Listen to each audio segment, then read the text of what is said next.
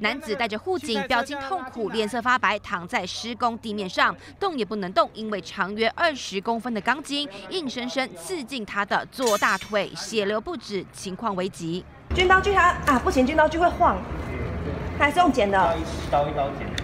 救难人员获报到场，每个动作小心翼翼，就连挑选哪一种救难工具都得三思，因为两根钢筋靠近大腿动脉，担心产生震动摇晃，造成二度伤害。高难度救援也考验救难人员智慧。因为这个不能洗，这个大师剪，要把它剪掉。不要把你口刀不要哦，那紧张哦。历经二十分钟救援，最后总算是成功脱困。意外发生在南投草屯，一名六十岁廖姓水电工工作完，疑似天色昏暗，不小心摔倒，